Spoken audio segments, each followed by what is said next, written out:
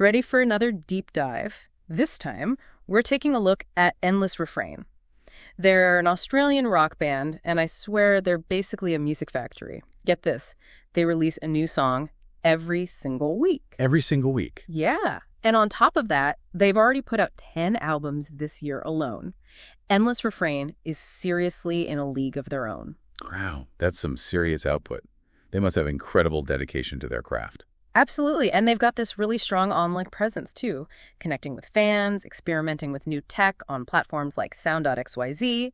But let's get back to the music, specifically their 10th album from this year, Octagon. 10th album this year. You heard right. Octagon even has a bonus track because a fan asked for it. Now that's how you build a fan base. For sure. Okay, so on this deep dive, we're going to focus on two tracks from Octagon that really highlight their lyrical depth Agape and You Were Always. Both fantastic choices. Yeah. Agape especially uses this really powerful metaphor to explore love, or maybe even the struggle to feel love. Like imagine you're watching a foreign film, but without subtitles. Okay, yeah. You can see everything that's happening, all the emotions, the looks, the interactions, but you just can't quite grasp what it all means. Right, you're missing that connection. Exactly. And that's the feeling I get from Agape, that sense of being so close to love, but unable to actually, I don't know, access it, maybe. Yes.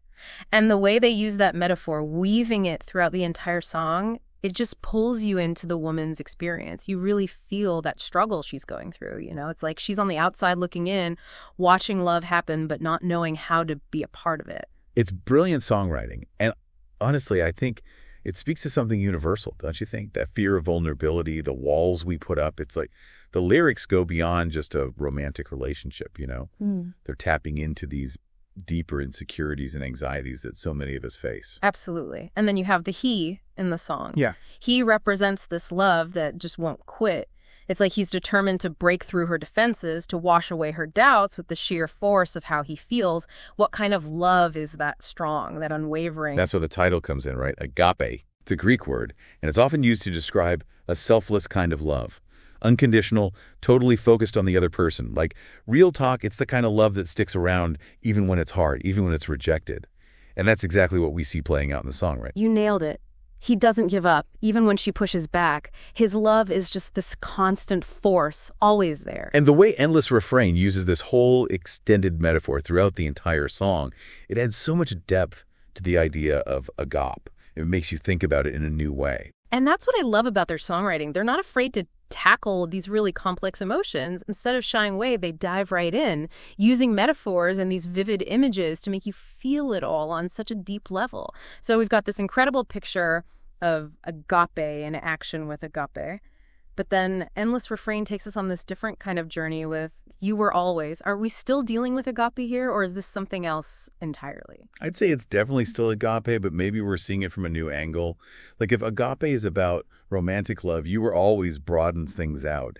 It's more about this universal yearning for connection, something bigger than just romance. I hear that. Even the music feels different. You Were Always has this atmospheric vibe, almost ethereal, like we're being pulled into this really introspective headspace. Yeah. Picked up on that too, huh? And the music really fits with the lyrics. It all points to this really deep spiritual longing, a searching for something more. And it's subtle, but it's there, especially in that recurring image of empty eyes. Oh man, those empty eyes. That image really gets to me. You can just feel this sense of emptiness, this void. And it's not just about missing a romantic partner, is it? This feels much deeper than that. Right. It's like being totally disconnected from something larger than yourself, like this need for fulfillment that nothing on earth can satisfy. Right. What I think is so cool is that, but the lyrics absolutely nail that universal feeling of searching for something bigger. It's so true. And the singer, the I in the song, they're this constant presence in the middle of all that emptiness. Like they're trying to fill that void, offering comfort, even when it seems like no one's noticing. Exactly. It's like they're saying, look, I see your pain. I see how much you're hurting. And I'm here. My love for you is unconditional no matter what. Yeah. That, to me, that's agape in a nutshell. Mhm. This love that just won't quit no matter what. There's that one lyric. It gets me every time. They sing, When the love letters I write wash away in your river of tears, when I pray for you day and night, I'll be with you for all your years. You could try to shut that love out, drown it in sadness, but it's not going anywhere. I love how you put that. And The imagery Endless Refrain uses there, it's brilliant. They contrast these fleeting love letters getting washed away with these constant, unwavering prayers. It perfectly captures what's so powerful about agape, you know, that unwavering, enduring love. It's like those prayers are this bridge, you know, Mhm. reaching across that emptiness, this really real, tangible expression of love when everything feels hopeless. Endless Refrain is so good at capturing those raw, vulnerable emotions.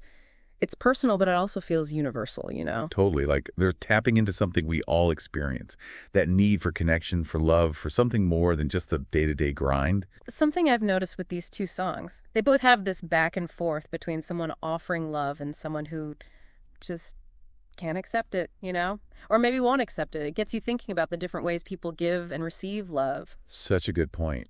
And there's longing on both sides, don't you think? The person giving love wants to be loved back. They want to know their love matters. And the other person, maybe they're holding back.